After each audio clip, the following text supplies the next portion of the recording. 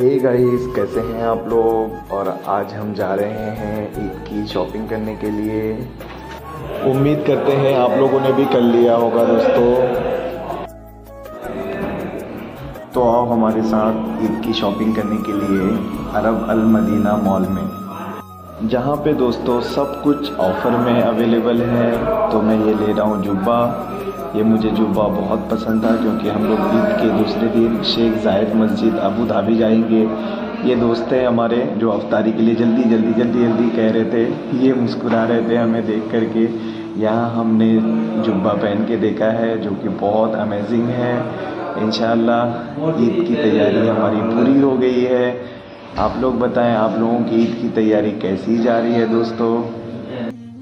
बहुत amazing mall है ये अरब अल मदीना, जहाँ पे हर आइटम आपको ऑफ़र प्राइस में है। ये ईद तक अवेलेबल है।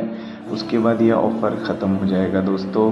तो जल्दी जल्दी आएँ और पूरे मॉल को लूट कर ले जाएँ।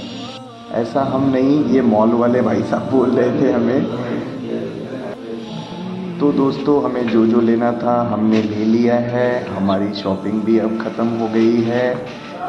और हम अब ऊपर से नीचे के लिए जा रहे हैं।